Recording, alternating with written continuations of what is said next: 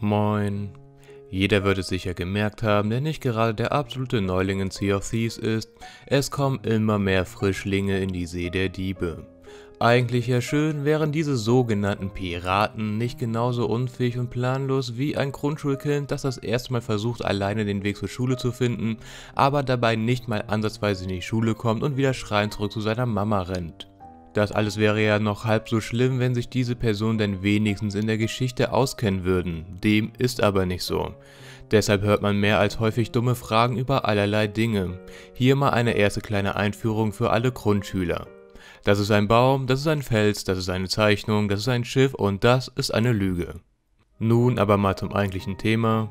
Ich will mein Wissen teilen und wo fängt man da besser an als ganz am Anfang? Nein, nicht bei eurer Geburt, so eine Enttäuschung übersteht man kein zweites Mal, sondern bei den ersten Geschehnissen in Sea of Thieves, also quasi deren Geburt.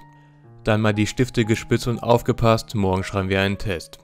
Angefangen hat alles mit einem Volk, das keinen Namen hat. Liegt einfach daran, weil sie vergessen haben, diesen uns auf irgendeine Steinwand zu schreiben. Stattdessen haben sie einfach alles, was ihnen in den Sinn kam, aufgemalt.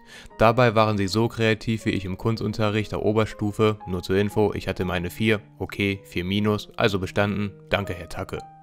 Und weil sie uns nur Zeichnungen hinterließen auf dem Niveau eines Viertklässlers oder wie ich in der 12. Klasse und nicht ihren Namen, so musste man selber einfinden.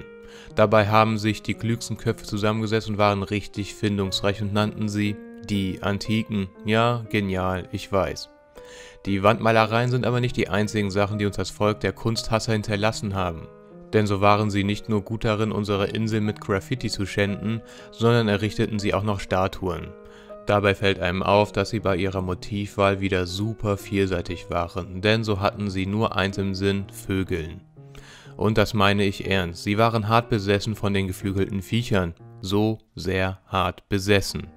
Ihr größter Traum war es, dass eines Tages ein Vogel auf ihren Schultern landen würde. Sollte das irgendwann mal irgendwem passieren, dann wäre dieser auserwählt worden und wäre automatisch ihr König geworden. Tja, ist leider nie geschehen. Aus lauter Frustration und dem Ausgehen von Farbe für ihr Gekritzel packten sie ihre Sachen und verließen die Sea of Thieves wieder. Dann waren sie halt wieder weg.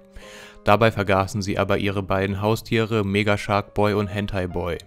Seitdem ist Mega Shark Boy oder kurz Mac verzweifelt auf der Suche nach einem neuen Zuhause, aber aufgrund seiner Größe möchte ihn keiner mitnehmen, denn Goldfische passen deutlich besser in ein Aquarium.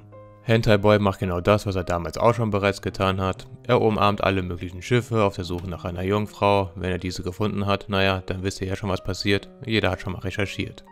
Jo, das war das, was man über das Volk der Antiken wissen sollte. Nächstes Mal schauen wir uns an, wie ein dicker Typ es geschafft hat, auf drei Messer gleichzeitig zu fallen und dadurch zu einer Legende wurde. Ist ein komischer Weg, aber hey, er ist eine Legende.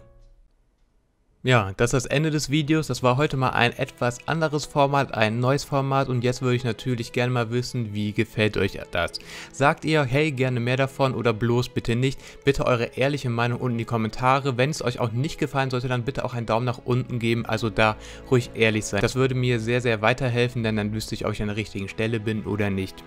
Ansonsten, wenn es euch gefallen sollte, dann würde halt in der nächsten Zeit nochmal ein Video in dieser Form kommen und dann wisst ihr ja schon, worum es dann ungefähr gehen wird. Ansonsten bedanke ich mich jetzt nur noch recht herzlich fürs Zuschauen und dann sehe ich euch an Bord. Euer Chef.